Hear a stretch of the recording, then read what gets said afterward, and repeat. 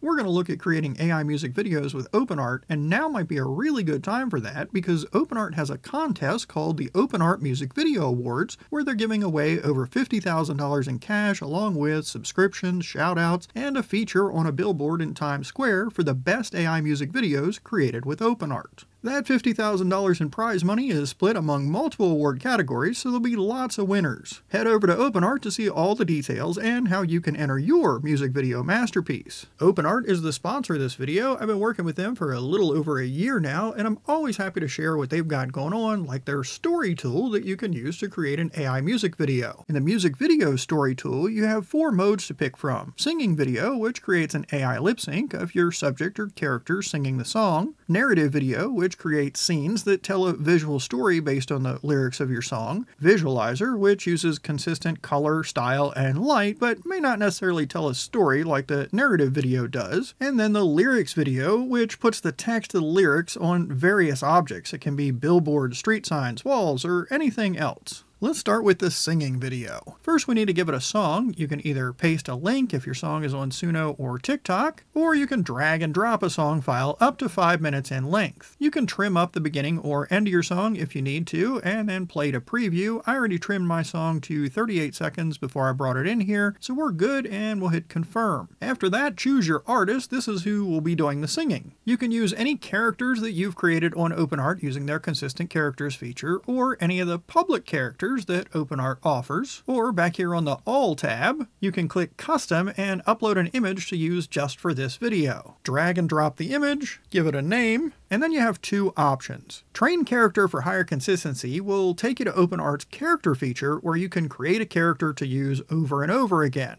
Then you'd come back in here and select that character that you had just created. The bottom button, Create Character, is just using the subject in your image for this video. It's not actually creating a character like the Characters feature. I'm going to close out of here because I want to use my consistent character Shay that I've already created. Below that, I'm going to turn on the toggle to allow character outfit changes. I don't need Shay to stay in whatever outfit she was wearing when I created her as a character. I'd prefer the wardrobe robots change things up to fit the scene scene. The next thing is set the scene, and that's optional. You can give a short description of the scene or vibe, up to 100 characters, like if you want an outdoor scene or the character to be in a forest, or you can leave this blank and it'll come up with something based on the lyrics. Then we have the aspect ratio. I'm going to leave that on 16 by 9. Below that are the advanced options. Click this little drop down over on the right. The first option is whether you want to include B-roll shots in your video. If you turn that on, it'll include some clips that aren't of your character singing, but it'll try to make them relevant to the song based on the lyrics. I'm going to go ahead and turn that off. The next option is match the video to the beat. If you turn that on, it'll try and make the video clips cut on the beat. We'll go ahead and leave that one on. The next option is show captions. If that's on, it'll add simple captions or subtitles. You can turn those off later in the timeline view, or you can add them later too. So I'm going to go ahead and leave those off. Next we have the image model. That's set to character since we're using one of the consistent characters that I created here on OpenArt. If we'd gone with custom up here and gave it an image to use for a one-time character, then we might want to switch that to Nano Banana or Seedream. This is the model that'll be used to create the starting images that will then be used to create the video clips. And so then our next option is the video model. We can pick between OpenArt Lip Sync or Hedra. I'm going to use OpenArt Lip Sync. And now we can either create the full video or preview the storyboard. Now if we do create full video, it'll figure out how many scenes to create create, it'll generate all the images for those scenes, then it'll go ahead and generate the video clip for each one of those scenes and put it all together. If we go with preview storyboard, it'll stop after it generates the images so that if you don't like any of them, you can redo those images before spending the time and credits to generate the video clips. We're just going to go for it and click create full video. It takes a few minutes to generate, but you can close this page or go somewhere else. You'll get an email when the video is ready, and you can just go to Story on the menu, and then down around the middle of the page here, you'll find the stories that you've created. Let's see how ours turned out. Neon skies paint the night so loud Shadows dance in the glittering crowd A spark in my chest,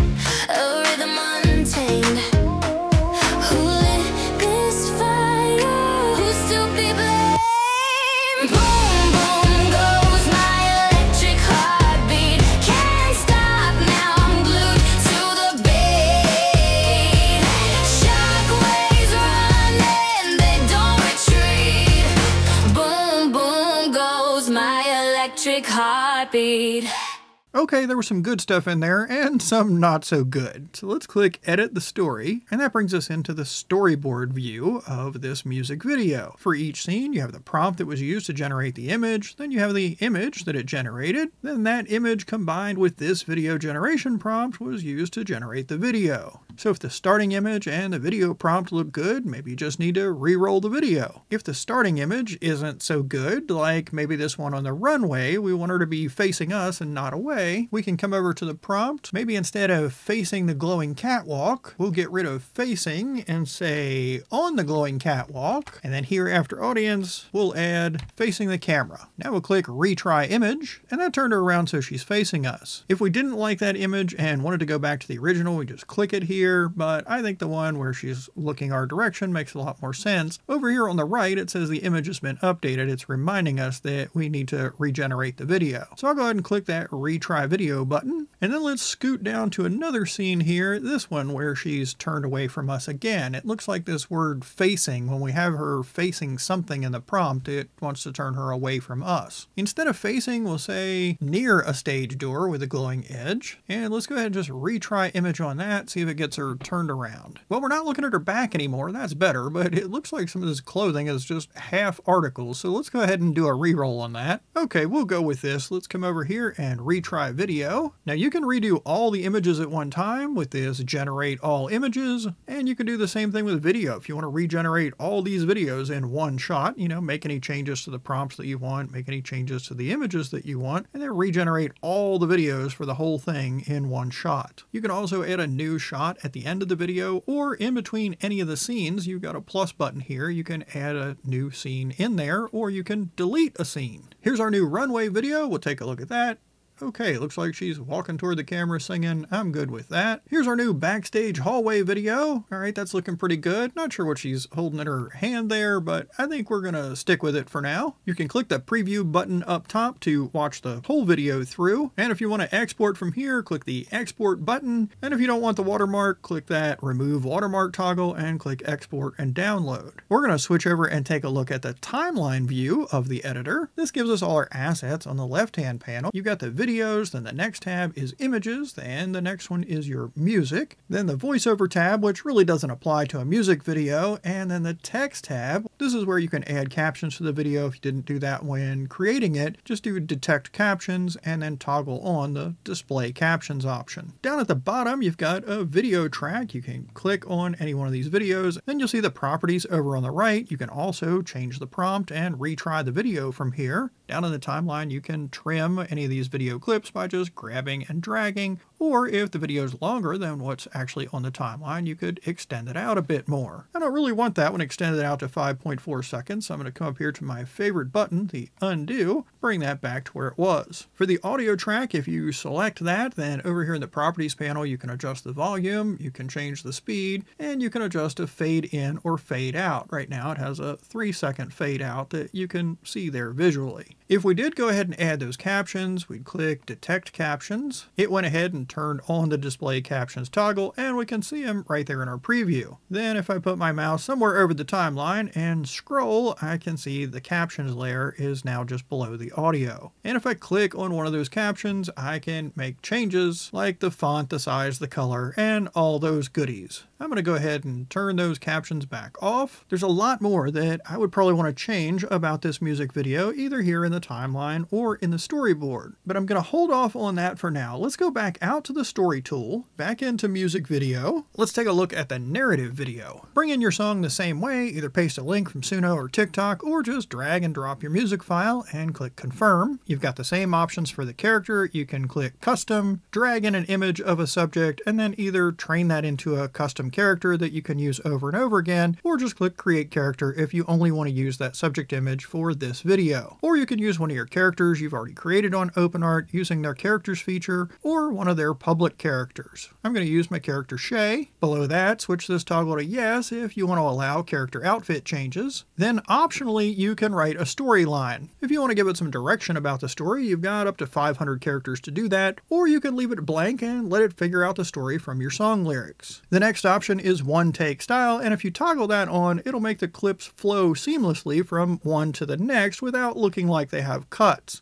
Then select the aspect ratio, and below that, click this drop down to see the advanced options. And in there, we can do match video to beat. That'll try and get the scene changes to line up with the beat of the music. And whether you want captions, I'll go ahead and turn that one off. For the image model, it's got character since I'm using one of my consistent characters. Then choose your video resolution and video model. If we go with 720p Kling 2.1 standard, looks like my 38 second video will be 1385 credits. If I switch that to Minimax Hailuo 02, it would be 765 credits at 720p. Then either do the create full video or preview storyboard. Again, preview storyboard's a lot less credits and a little quicker to generate, and it'll just produce the images for all the scenes, and you can make any changes before you generate the video clips for those scenes. Now I already generated a narrative video with all these settings for this song, and here's how it turned out.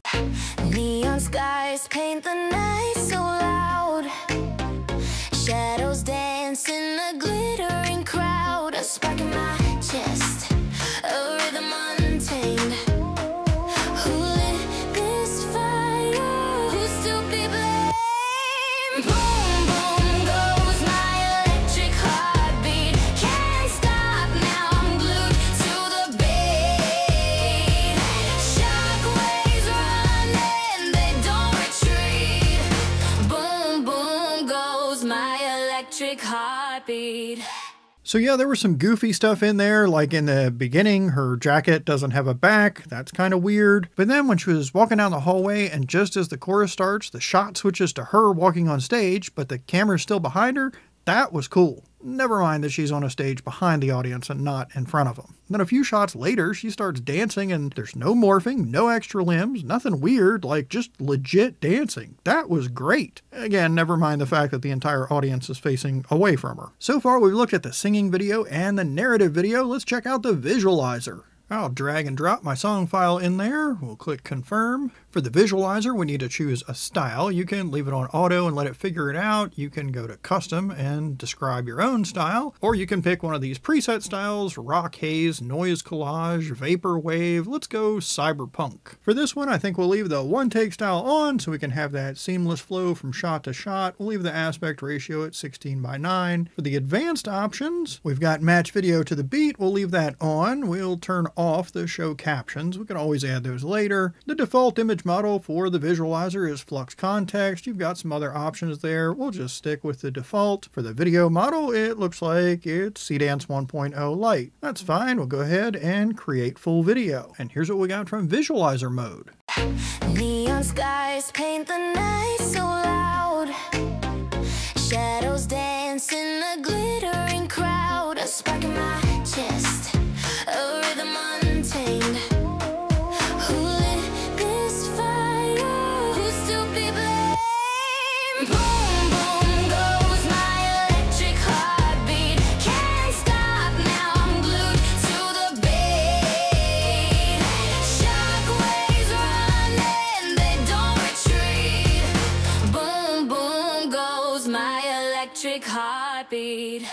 There's one last music video mode, and that's a lyrics video. Bringing in your music works the same way, either paste a link from Suno or TikTok, or drag in your audio file and click confirm. Then you've got this animated video toggle. If you leave that off, your lyrics will show up on objects as basically still frames. If you turn this toggle on, it'll be videos with some movement instead of just a still image. You've got your aspect ratio, and then under advanced options, it's just a matter of your image model. You've got a few there to pick from, and then your video model if you're doing the animated video. Like with the other music video modes, you can either do preview storyboard or you can create the full video. Here's what the lyrics video looks like with the animated video toggle turned off. Shadows dance in the glittering crowd. A spark in my chest. So it just goes through static images of the lyrics placed in different places. And here's what the lyrics video looks like with the animated video toggled on. So what I want to do now is combine the best from what each one of these modes produced into one music video. But before I do that, I'd like to have a little bit more lip sync footage than what I got from the one singing video. So I'm going to come over to video and then lip sync video. I'm going to bring in a static image of my character Shay. For the prompt, I'm going to say the woman is singing passionately into the microphone looking directly into the camera. I'll use the OpenArt lip sync model. I've got some other options there, but I'm going to go with OpenArt lip sync and that gives me up to 90 seconds here in the lip sync video tool. That's less than the five minute limit you have over in the music video story tool, but the song I'm working with is under 90 seconds, so that'll be fine. If it was longer, I could always split it up. Now for this particular song, it might be kind of hard for it to distinguish between the vocals and the music. So I took my song file into CapCut and isolated the vocals and then exported it. Here's a little bit of what it sounds like. Neon skies paint the night so loud.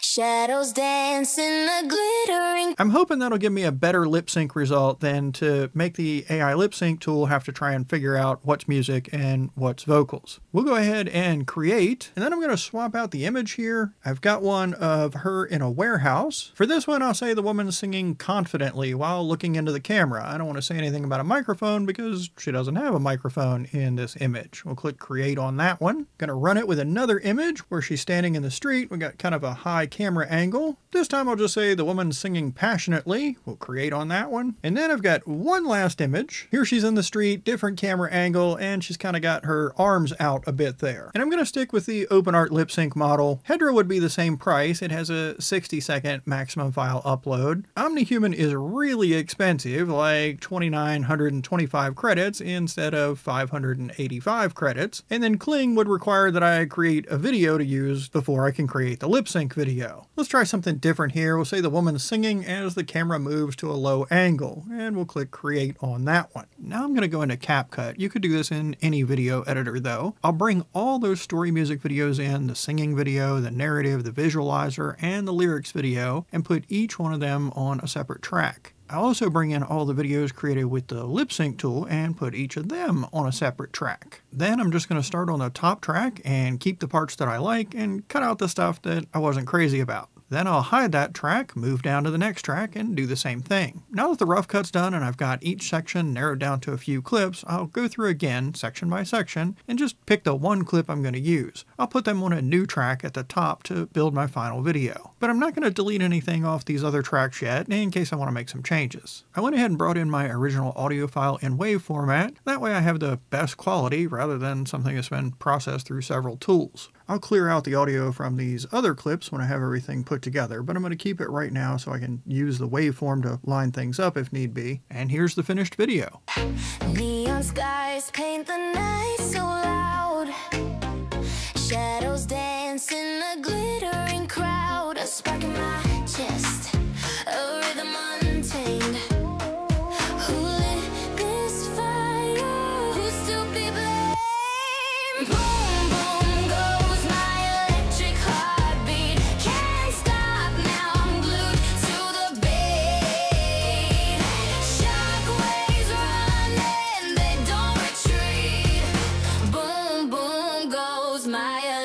electric heartbeat.